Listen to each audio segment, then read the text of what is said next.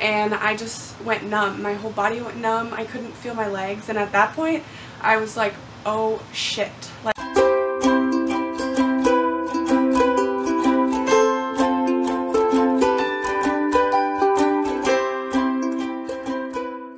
Hey guys, welcome back. So today I'm going to give you guys a little life update slash story time. I'm not going to go full into detail, but as you guys can see from the title, I broke my back a few months ago or like five months ago. So I have been recovering from that. I'm not going to go full into detail about it, but I'm just going to give you kind of the gist of everything and like how it happened and what I know. And I've been recovering now for about four months, so I am doing a lot better. Sorry I'm rocking, that's annoying. Um, but yeah, and also I want to put a disclaimer, if you guys hear my son, he is like laying right there playing, so I apologize in advance if he's being noisy. Um, so yeah, if you guys want to see this video, then just keep watching. Okay, so I want to kind of give you a little backstory first. So I had my son September 21st. He's my first little baby. Um, but like my pregnancy and stuff, I didn't have back pain or anything like that, like out of the ordinary. It was like, I mean, if I was up on my feet all day, my back would hurt, but that was it. So the day that I gave birth, immediately after, I had horrible back pain. It was excruciating pain and my doctor kind of said that's probably from giving birth. I did have a lot of back labor and stuff, so I thought it was probably just from that. Oh, I kind of just thought it was muscle at this point. It was really bad, and I thought it was just from picking my son up and stuff like that. Because I'm a new mom, I'm not used to picking a baby up all the time. I did have a big baby too. Um, but anyways, so so by the end of November, it got really, really bad. I couldn't even pick my son up at all at this point. Um, I was trying to rest my back for a little bit. And then um, the beginning of December, one morning, um, I thought I was feeling better. I picked him up and we were walking into the other room and I just felt something in my back and I just completely collapsed down to my knees. And luckily I was able to fall kind of like on my side he was not hurt at all. I just want to say that I laid him down very gently. I was in excruciating pain and I just went numb. My whole body went numb. I couldn't feel my legs and at that point I was like, oh shit. Like, am I paralyzed? Is this from my epidural? I was freaking out and I was kind of nervous. I didn't want to call 911 because I didn't know what they would do with my son. Um, he's a baby. I didn't, you know what I mean? I didn't, nobody could stay here. He couldn't go with. Um, so I called Brian at work and he said, hang on, he said it would be a little bit before he could come home. Um, and how I had to crawl to my phone because I couldn't stand up. I tried standing up, I couldn't. Muscle spasms in my back were so bad. I had to like pull my body and crawl like that, like I couldn't use my legs. I was dragging my body like that.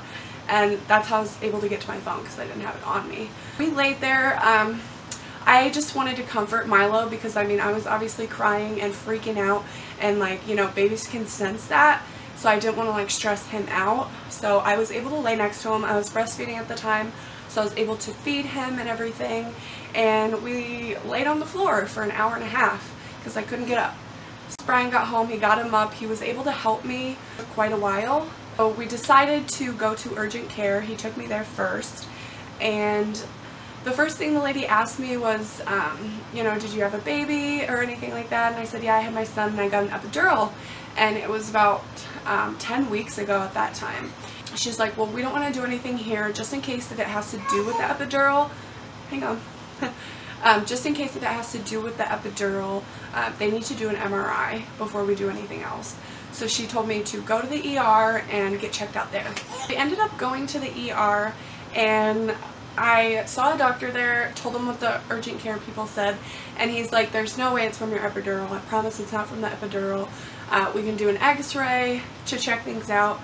And um, so he did an x-ray, and he said it didn't show anything. Um, and I'll get to that in a little while. Um, he said it's probably just muscle, give it four to six weeks, and it'll heal on its own.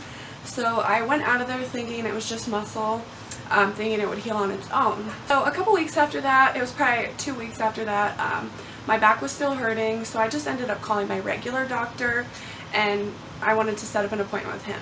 Set up an appointment, it was about a week or so after that, um, and I went to my appointment. My doctor thought, yes, it could be from the epidural.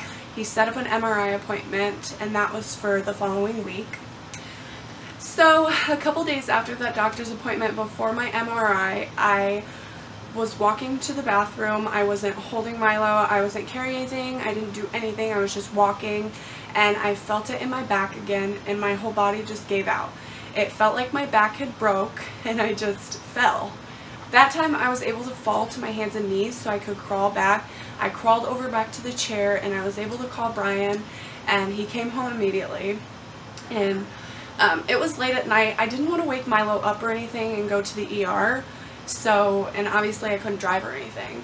So Brian would have to wake him up and take both of us. Um, and I'm like, let's just see how it is in the morning. Later that night, I had to pee and Brian had to help me get up. And he was like holding me as I was walking. Um, it was so painful. And I was able to go to the bathroom and we were walking back. And my whole body, like I just had muscle spasms in my back. It just I don't even know what happened. It just, my whole body gave out again. And I just fell down. I couldn't get up. I was so tense because I was having muscle spasms so bad. And I just sat there and I was like stiff like that. And I'm like, I can't move. Like I was freaking out. So it took me about an hour and 45 minutes to get back to the chair, which was like 25 feet from where I was. And um, after that, I sat in that chair the next day. I couldn't get out of it. I could not stand up. I wasn't able to get my legs straight or push myself up. I couldn't straighten out my body and I was freaking out. So my mom was able to come and get us the next day. Um, she is a physical therapist. She brought me a walker from one of my grandparents so I was able to use a walker and that was the only way I could walk. And we ended up going back to her house because she was going to take me to my MRI appointment. I got into my MRI, I did that, and then the next day I got a call from my doctor and he told me that I had a spinal compression fracture on my L3, which means I broke my back, and then I had three disc bulges that were pressing on my nerves, and that was causing the numbness and the pain in my legs where I couldn't really move. And my doctor was concerned about the break because obviously there was no trauma. I wasn't in an accident, I didn't fall on my back, I didn't do anything to break my back, so my doctor was concerned, and he sent me to do a bone density scan, and then was when I found out that I had osteoporosis. Um, if you don't know what osteoporosis is, it's basically where elderly people's bones get so weak and brittle and they break on their own. And elderly people get this. Obviously I'm in my 20s, that's not normal. So my doctor thought there was some other condition or disease that was causing this.